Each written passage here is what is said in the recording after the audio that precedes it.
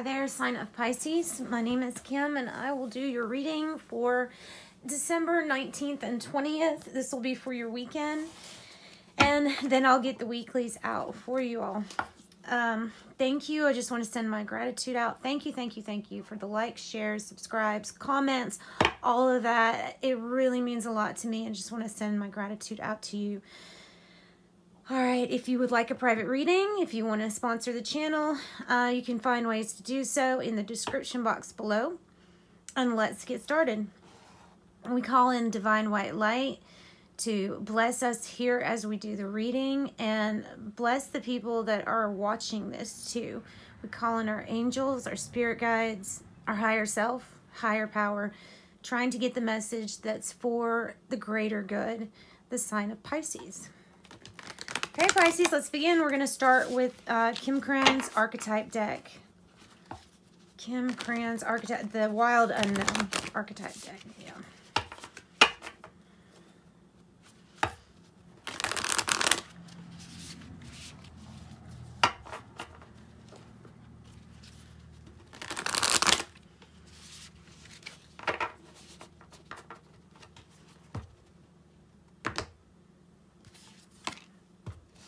I've never gotten this one, but I think it's good.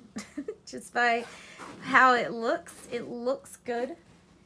Anima Mundi. Anima Mundi.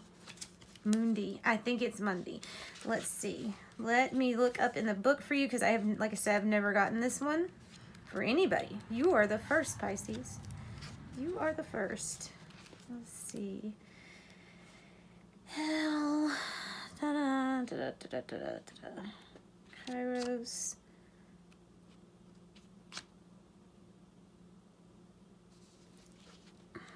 oh, okay.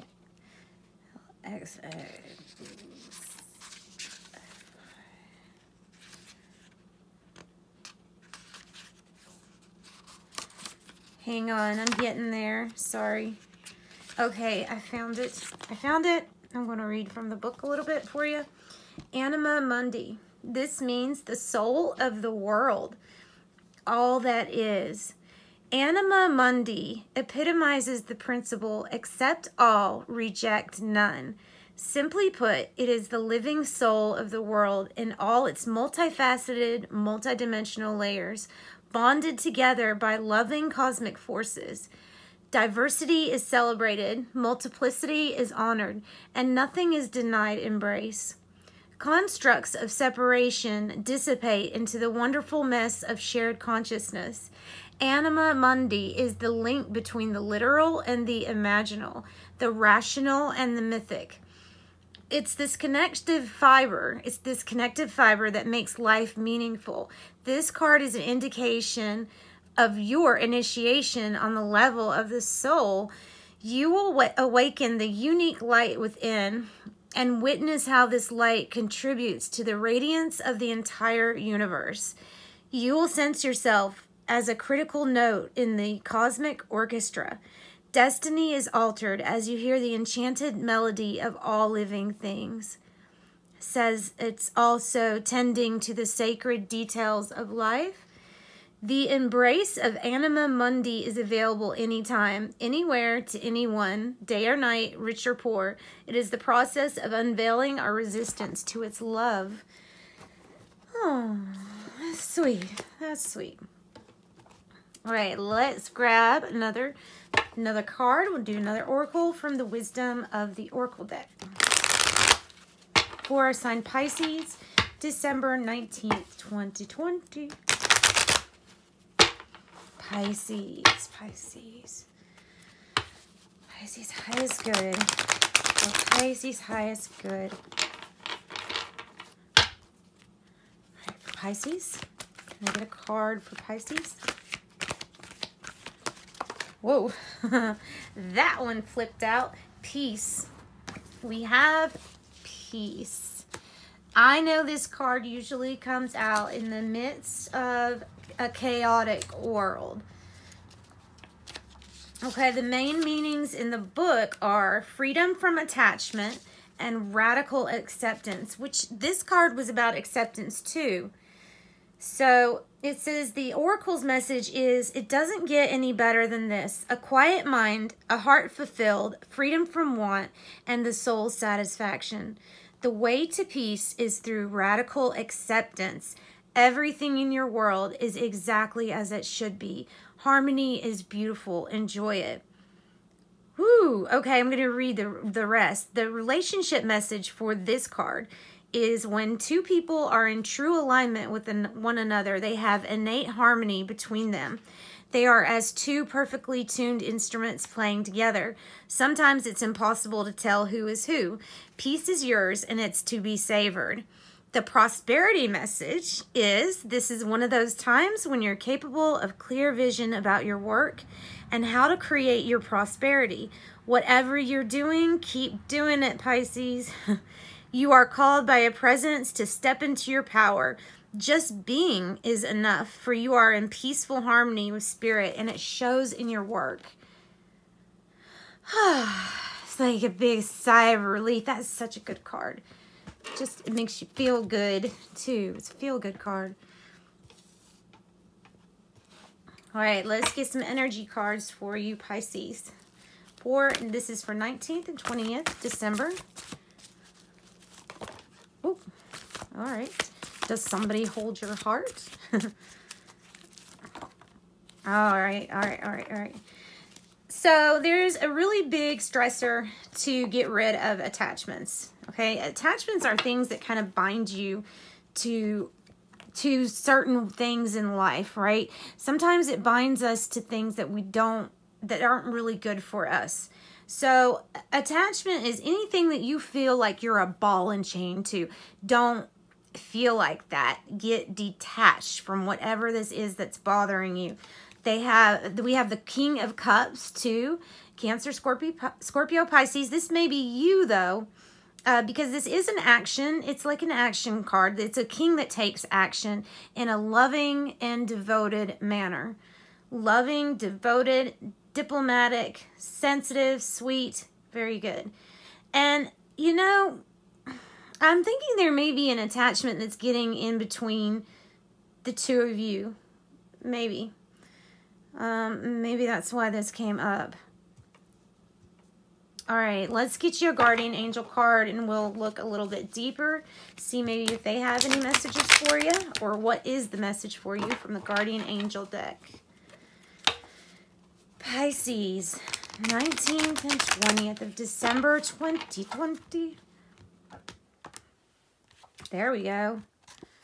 Oh, angel of challenges. All right, so we know that spirit acknowledges what we're going through right now and that it is a challenge to us, for us, and maybe a challenge in your foundation since it has a four or with an, an emperor type uh, personality, like an Aries. Let's look at number four. Number four. Number four. Okay, this card shows up because it wants to be, let you know that they're aware of your current situation. You may be presented with a challenge that will make you question your life's journey and at times your reason for being on this earth. Your angel of challenges is here to assist you in understanding why you're being challenged. What you may see as a disheartening challenge could be a great gift in disguise.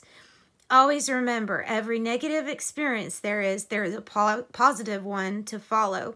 Your angel of challenges is by your side to help you find a way through this current challenge and to show you that there is always a way forward. There is a saying, that which doesn't kill you makes you stronger. And this angel will help you discover that no matter how hard things get, you will get through this. You may even unleash an inner strength within yourself that you didn't know you possessed. Hmm. Call your angels in when you're making decisions to resolve the current challenge. Your affirmation is I have all the strength and determination I need to overcome the challenges I'm being presented with at the moment. Oh, I'm sorry, Pisces. Sorry, I'm having to go through a challenging time. It's not always fun. All right, there's Pisces. Challenging times doesn't discriminate either. It happens to poor, rich, old, young, all of us. It doesn't discriminate. All right, let's get some tea leaves for you Pisces. Now I know what that one's about. All right. We got a month here. We have August as a month for somebody. We have hand in need of assistance and guidance. And this, the energies may be reversed. So you may be helping somebody um, or they helping you, vice versa. We have Peacock, beware of great pride. Beware of great pride. Feather, someone you know is undependable and insincere. Oh, and I, you know, I'm going to add that sometimes feather is a positive thing. It, it is for me when I go on my walks. When I see feathers laying down, I know, like I have a knowing that that's my angels that put that feather right there because every time I go on my walk, I go on the same like track, the same trail, and the feathers that I would find would always be exactly through my line of walking. So I want to tell you there's something magical about the feather card too, not just always bad. Um, Axe, forces working against you. That's the darkness. The darkness is always there. Always there. And, you know, our goal is to kind of change it and have the darkness be lit up, be illuminated. And remember, the bigger your light, then the bigger the shadow is cast. All right, let's get your tarot. This is the Rider Waite Tarot deck. Let's get an issue card for Pisces.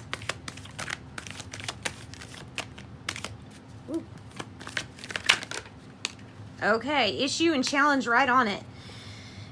Okay, the Hermit, card of Virgo, going inside to find an answer, finding an answer within so that you find the light and then you're able to illuminate the trail for other people to see too.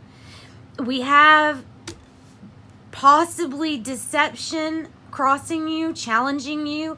That may be the dark, the shadow, somebody uh, maybe thieving, stealing, um, and all these energies can be vice versa, okay? So it could be you, it could be somebody doing this to you. Just watch out for deception, especially when you see this as a challenge card. What is the past energy? Well, there's past. Here's spirit advice. Get more information. Get more information in the past. Oh, we have a wish that was granted in the past perhaps this wish did not um, please you as much once it came in in the future. Something something may have not been completely 100% truth to you. Something might be been deceptive about this. Uh, page of swords is uh, let's see libra gemini or aquarius and it does mean gathering more information when it's spirit's advice. Um, it's actually listening to other people, not gossiping, okay? Listening, trying to decipher facts from fiction, finding out more information. That is the advice. Oh, and we have Leo, the card of strength on the bottom, trying to give you strength and courage to get through this. And then let's see what the projected outcome is for Pisces.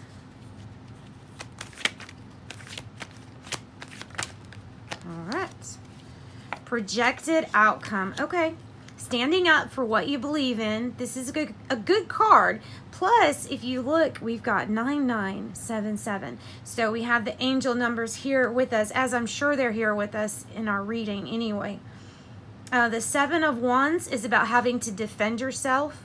Uh, standing up for what you believe in. And in another deck, I was reading that the Seven of Wands can mean the light being illuminated amidst all the darkness. So I think it has something to do with that too. I don't always say that, but we've got, now we've got the devil on the bottom. So I think there is a shadow side. There's something that's um, dark. There's something that's dark. You just need to shine your light on it and get more information. All right, guys, thank you so much for joining me. Sending love and light your way. Join me for the weeklies.